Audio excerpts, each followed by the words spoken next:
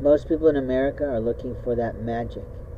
That magic is that man or that woman that allows you on your own to be magic, but because they're in your life, you feel the magic. There's only been one or two women outside my late Japanese spouse who could light me up like a Christmas tree. And openly, it's always funny how those relationships begin and what they can be.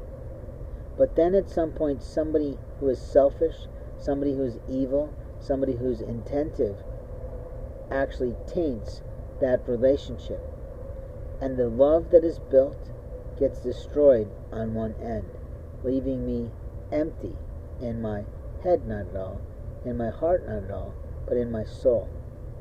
The whole vision and value of my work, Soul Keepers, a book I wrote and haven't fully adapted to audio files yet, is about how we have these soul strings in our life. And we have these relationships in our biological family that are either perfectly healthy or they're contrived. And then we go off into the world as adults, as we should, according to the legacy and lineage of the Bible, where a man goes off and makes a new family. And that new family helps him to thrive. I thrived because I had a Japanese family. We survived because I had a Japanese family.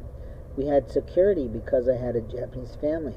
But I personally thrived because of the love of my wife. When that started to wane, when she started to look at her life again, when she completed her several degrees that we paid for, her life shifted and changed, as did mine.